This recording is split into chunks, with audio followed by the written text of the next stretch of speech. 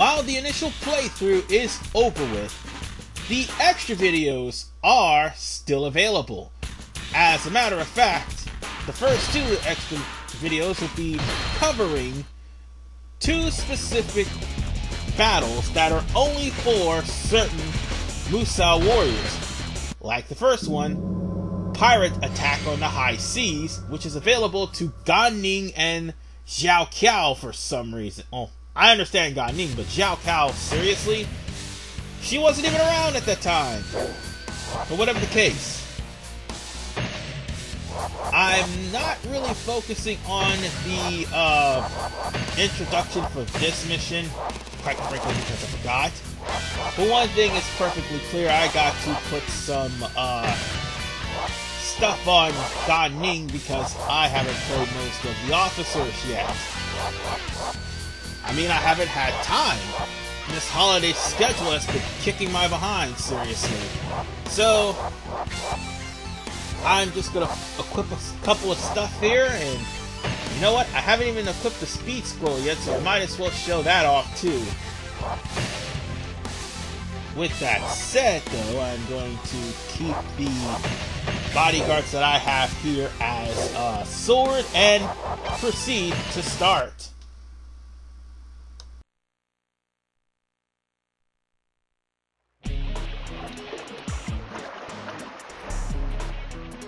The wind, the smell. I love it aboard a boat.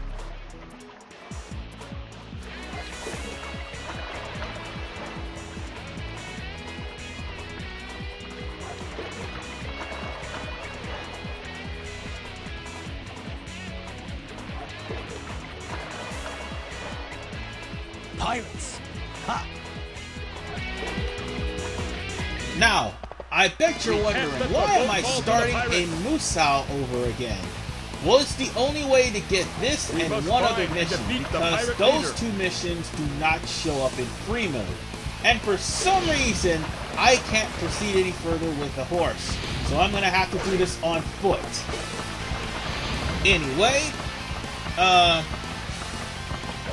as it stands, ladies and gentlemen, while this is a starting mission for not only Ning, but also Xiao Qiao for some reason, um, this would be where they would actually get a little bit of um, help from. Now, if you honestly want them to be stronger when coming into their Musou, at least have someone in their group beat the Yellow Turbans first. Then, if you have unlocked them, just keep playing the Yellow Turbans from there. This normally is supposed to be the startup mission for Xiao Qiao and Gan I don't know why it's just these two. I'm pretty sure there was another person, but I've checked every last one of them and they don't have the pirates. I think some of them have the mountain bandits, which is the next mission we're going to be doing next part. And there was one other mission that everyone else could do. But the problem is that is only on Extreme Legends. Oh yeah, and I can't jump across. That's that's ridiculous. There's a barrier there preventing me from jumping across. It's ridiculous. So I'm gonna have to go this way. I mean, I've forgotten where the heart, not the heart, the uh, dim sum and the fairy wine of this area is. So I will actually uh, put it on the uh, description just in case anyone is curious. Because in this initial playthrough, I just forgot where the uh, dim sum or the fairy wine is. But here is our first lieutenant commander. It's basically a generic officer, and all you gotta do is just chop him up. Be careful, seeing as how you were starting off usually without any I items. defeated an officer! Uh, Come on! Come as many as dare! What? Are you? Are you? You vermin! Don't say my name so lightly! Sorry, I have to interrupt that cutscene, but as you are starting, you have nothing. Depending on the officer, you have nothing. In other words, if you are starting this out as Gan Ning for the first time, then guess what? You are in for a rude awakening if you think you're going to win this.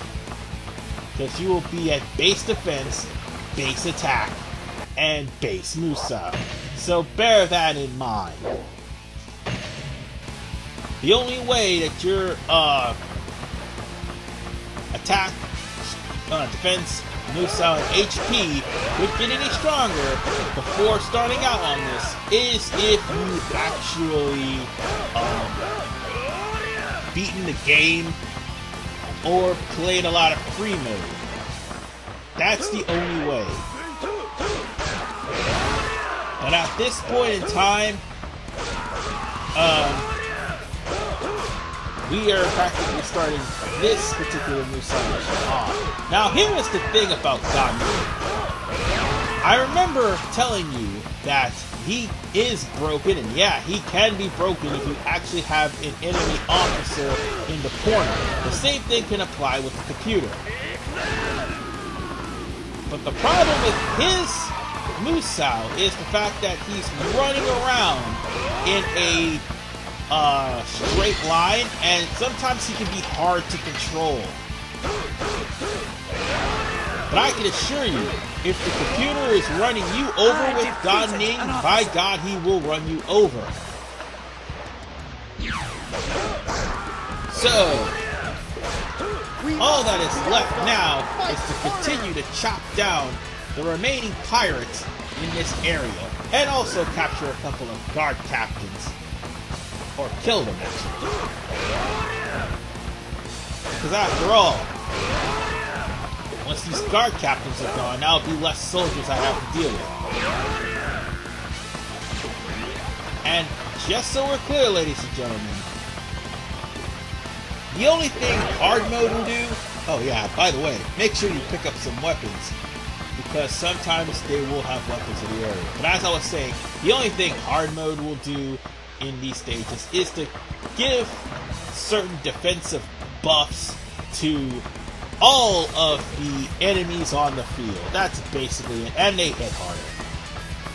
And they're much smarter. That's it. It's not really much of a challenge. I mean, yeah, it can get to be a challenge once you play this on hard to try to get all the weapons. But once you max out your character or get max items, you can breeze through that. I mean, yes, you may take more hits than usual than what you do in normal and easy, but you could just breeze through this no problem once you get uh, the right amount of accessories to pursue the level 4 weapons. I haven't pursued them because of the fact that I have been dealing with, well, not only other playthroughs, but also the holiday schedule of my job, and not to mention the fact that I'm working another job as well. So there is that. I have been a pretty busy guy, so if you for some reason unsubscribe because of quality of the content or the fact that things aren't coming out the way you like, I apologize in advance. But anyway,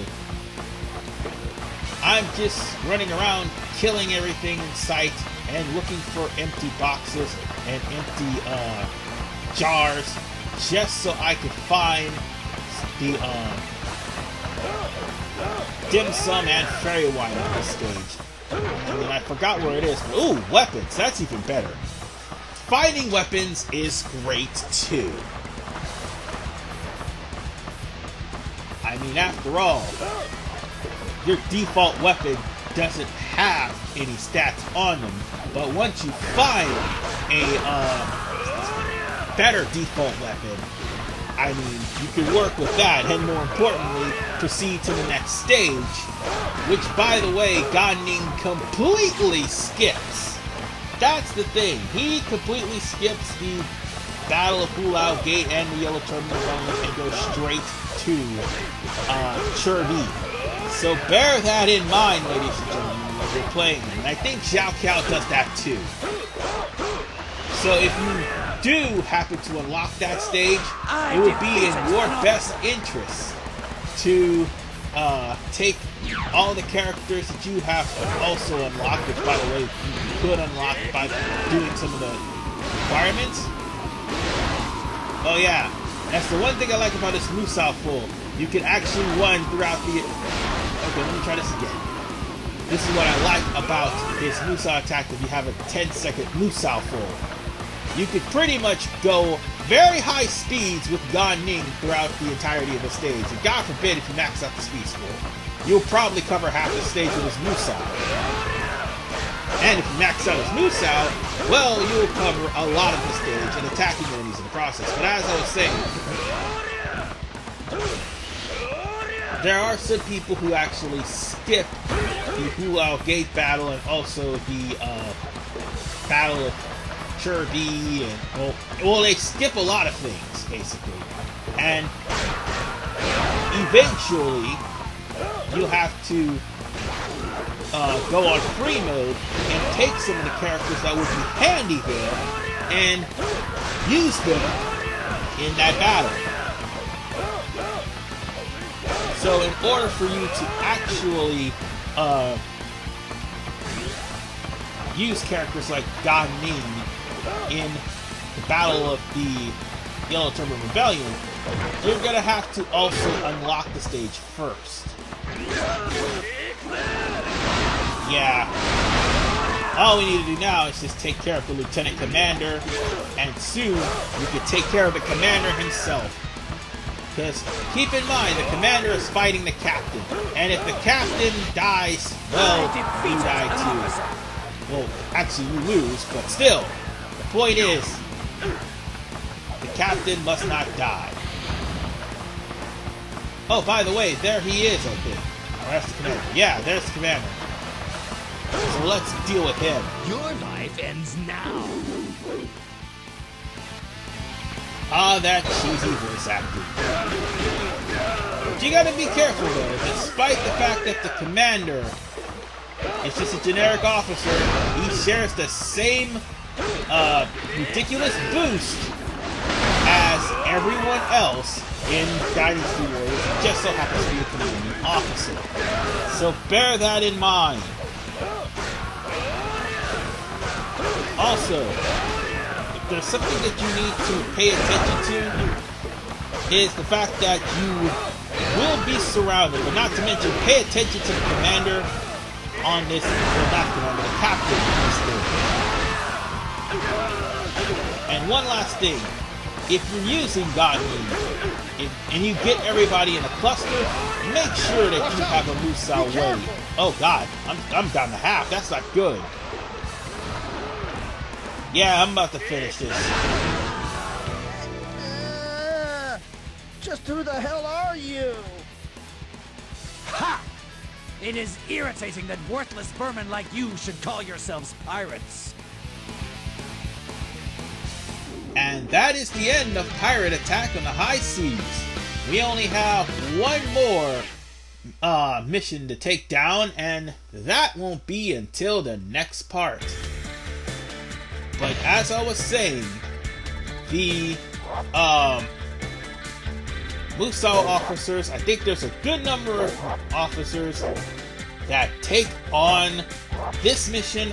I think there's only three of them, and then there's some that only take on the uh, Mountain Cloud Bandits, which is going to be the next extra video. So, at this uh, regard, you think that Ga- Gan Ning would have a sword like that? No, what he has in his hand is the level 4 sword. And that's not going to change until you get it. So with that said, folks, I'm done here.